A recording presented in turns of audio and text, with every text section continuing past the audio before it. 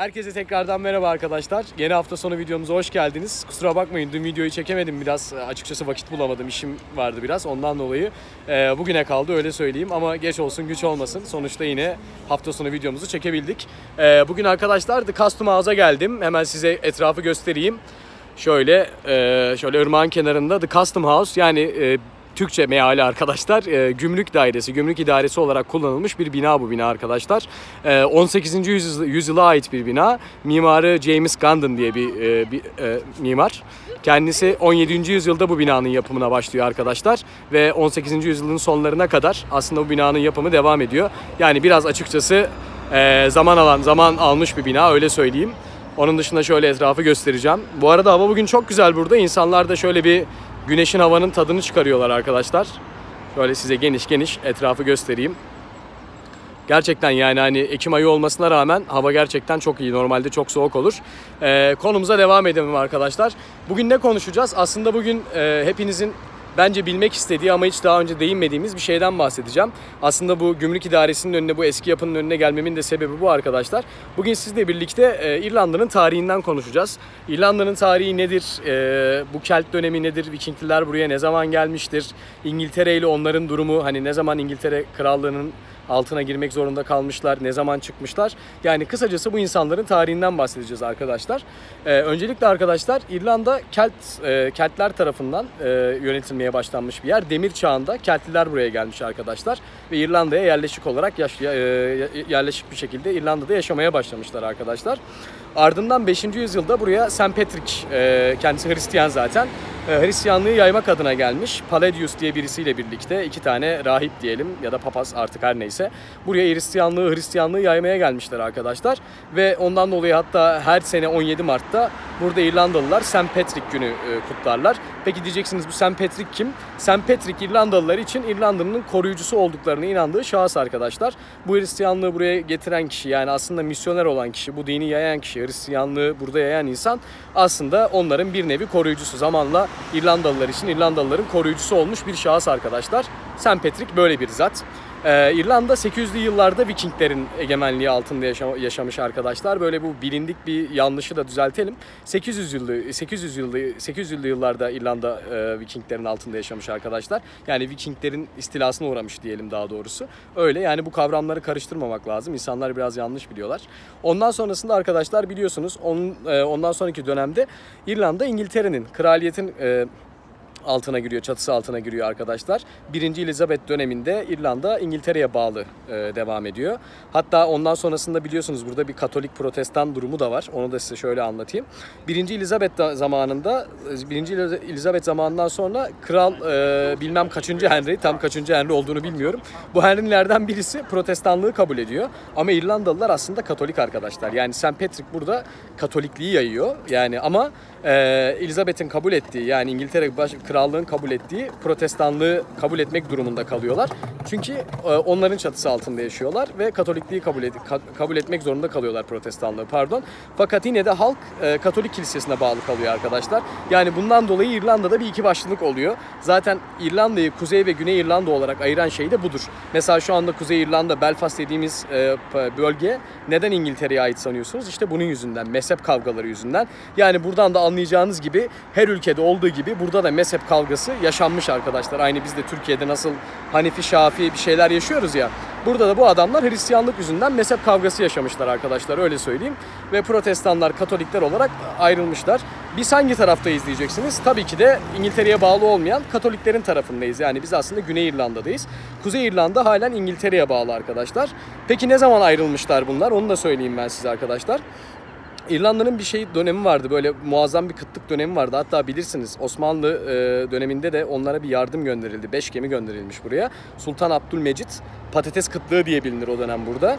1846 yılları arkadaşlar çok uzak yıllar da değil.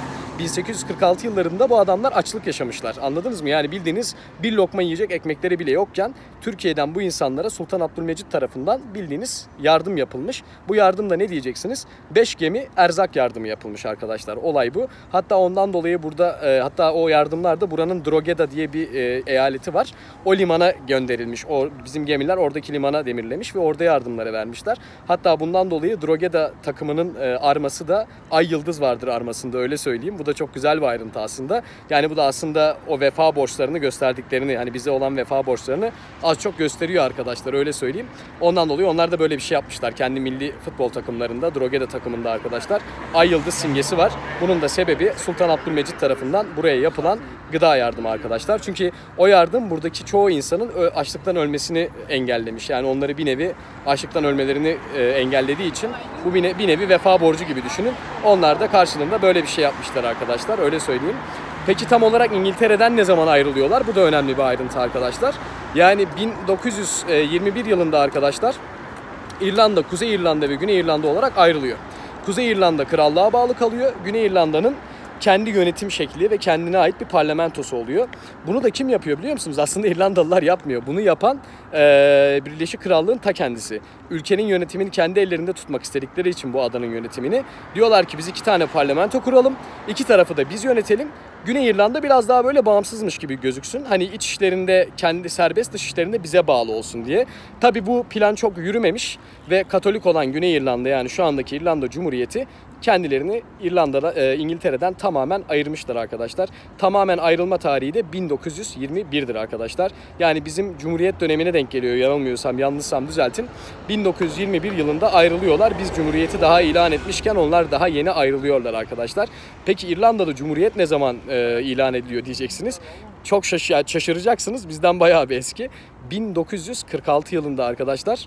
E, İrlanda şeyden ayrılıyor. İngiltere'den tamamıyla ayrılıyor. Yani zaten ayrılıyor 1921'de ama Cumhuriyet rejimi 1946'da uygulanıyor. Yani Türkiye'nin Cumhuriyet rejimiyle düşünürseniz daha yani İrlanda Cumhuriyet konusunda yönetim biçimi olarak Türkiye'den daha çok daha yeni. Çocuğu sayılır. Öyle söyleyeyim arkadaşlar. Bilginiz olsun. Yani İrlanda'nın kısa tarihi aslında böyle. Peki insanları nasıl diyeceksiniz arkadaşlar? Hani şu andaki günümüze doğru gelirsek. Hadi bu tamam bunlar 5. yüzyıldan 18. yüzyıla kadar 3-5 bir şey anlattım ben size. Peki genel olarak insanlar nasıl derseniz yani normalde şöyle söyleyeyim. İrlandalılar aslında iyi insanlar. Dışarıya, topluma, dışarıdan gelen insanlara açık insanlar. Ama bir de şu var. Aslında İrlanda'da İrlanda'nın nüfusunun yarısı yaşıyor. Peki bu kalan nüfusun yarısı nerede diyeceksiniz?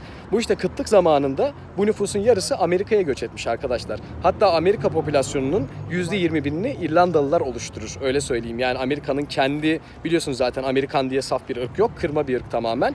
Ve bunun %21'i aslında İrlandalılar. Çünkü çok muazzam bir insan sayısı. 4,5-5 milyon insan İrlanda'dan bu kıtlık zamanında Amerika'ya göç etmişler. Çünkü yiyecek ekmek yok, bir şey yok. Orada hayatlarını kurmuşlar. Yani bir nevi şunu söyleyebiliriz. Amerika Birleşik Devletleri'nin oluşumunda aslında İrlandalıların da etkisi var. O popülasyonun da etkisi var.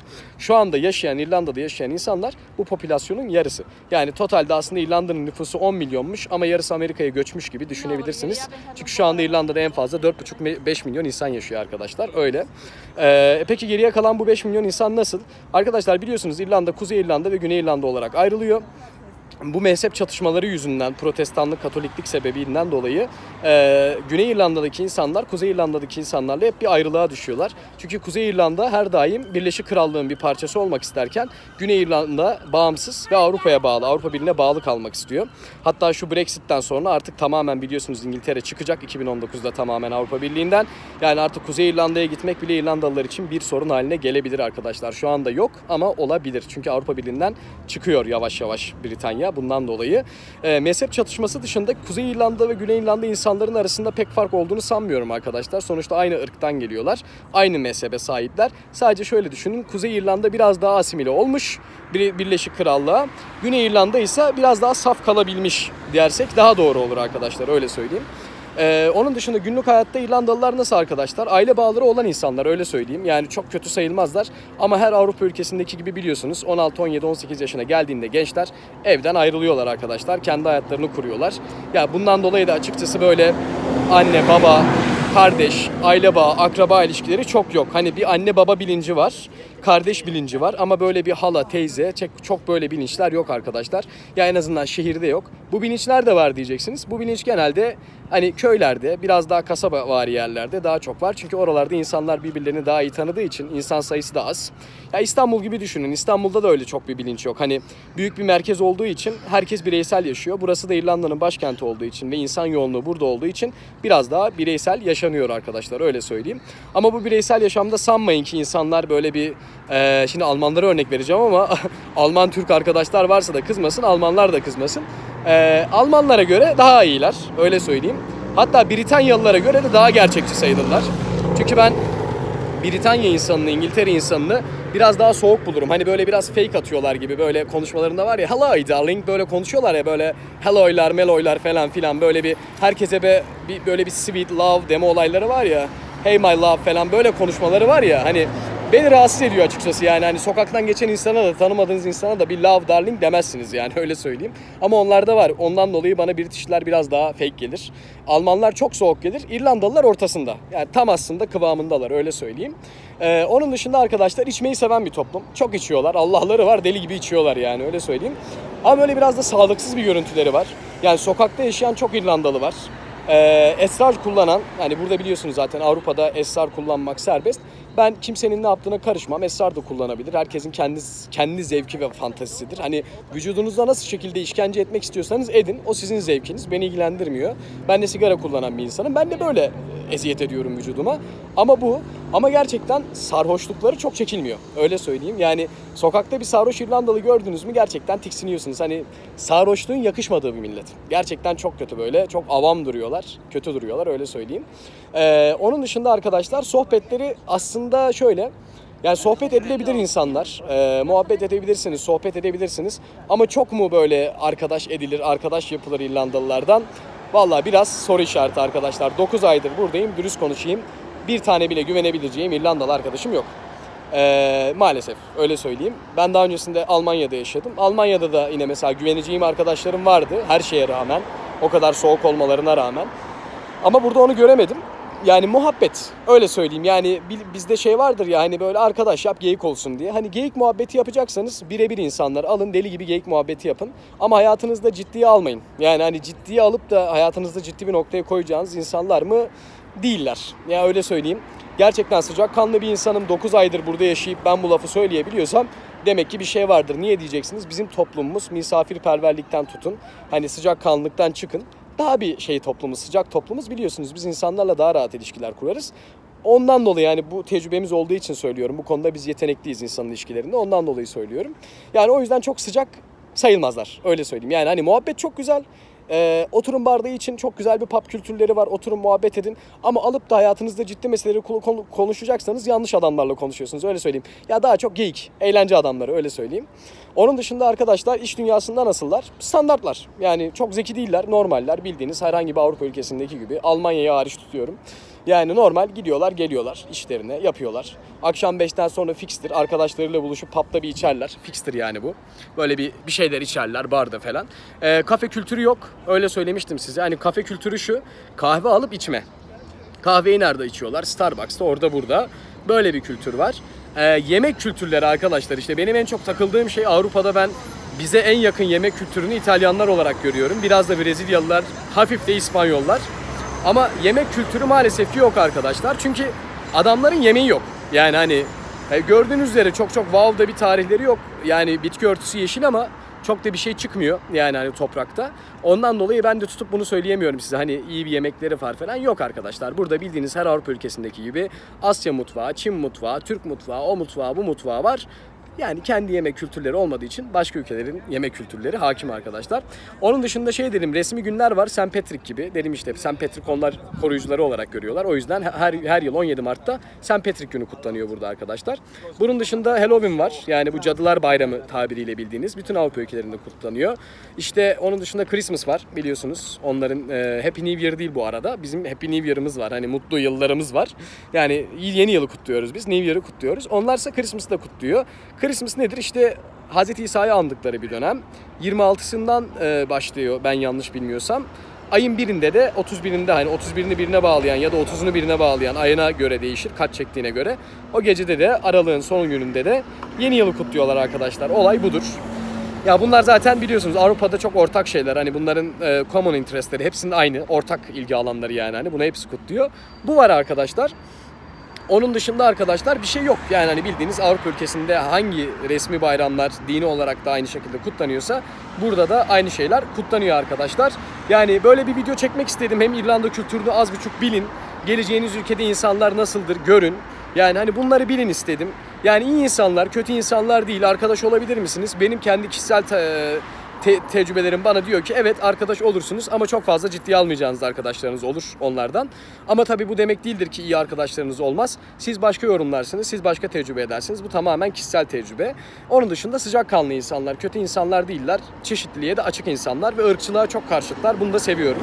Irkçılığı sevmiyorlar ve ırkçılık nerede yapılırsa yapılsın buna karşı çıkıyorlar. Neden derseniz onlar en büyük ırkçılığı zaten Britanya Birleşik Krallık zamanında yapıldığı için çok güzel bir ders almışlar geçmişlerinden. O yüzden ırkçılığı sevmiyorlar arkadaşlar. Yani durumları böyle, ülke böyle, tarihi böyle, sosyal yaşamda böyle, toplumları da böyle arkadaşlar. Hani iyi oldu bu konuya de- değinmek. Neden derseniz hani geleceğiniz yerin biraz tarihini bilin, insanını bilin. Daha böyle bir güzel oluyor. Hani onların da birkaç yönünü bilmek aslında onların da hoşuna gidiyor, onur ediyor. Ve bence gittiğiniz her ülkede az biraz kültürünü bilmeniz gerekiyor. Nasıl bir ülke olduğu, tarihinin ne olduğu bunlar önemli konular arkadaşlar. Bundan dolayı bu videoyu çektim. Ee, bir İngilizce dil videosu çekeceğim arkadaşlar. O büyük ihtimal önümüzdeki hafta olacak. Bu hafta beni affedin. Onunla ilgili böyle bir zaman ayırmak istiyorum. Size biraz temel İngilizce dersi gibisinden bir şeyler anlatmak istiyorum. Onun için biraz daha zamana ihtiyaç var arkadaşlar. Öyle söyleyeyim. Biraz daha hazırlanıp da size anlatmayı tercih ederim. Ee, yanlış anlaşılmasın. İngilizce bilmediğim için değil, İngilizce benim için gayet bildiğim bir dil, sıkıntım yok. Sadece ben daha önce hocalık yapmadım, İngilizce hocası değilim. Hani nasıl doğru anlatırım? O yüzden birkaç tane arkadaşımdan yardım alacağım bu konularda. Hani bir teknik nasıl anlatmam doğru olur. Ondan sonrasında da siz de İngilizcemizi, hani benim bildiğim İngilizcemi ve bildiğim bilgimi sizlerle arkadaşlarımla paylaşacağım arkadaşlar. Ee, onun dışında söyleyecek başka bir şeyim kalmadı artık. Ee, bugünün sonuna geldik, videomuzun da sonuna geldik. Kendinize çok iyi bakın arkadaşlar. Hepinizi çok seviyorum. seviyorum. Haftaya görüşürüz. Hoşçakalın arkadaşlar.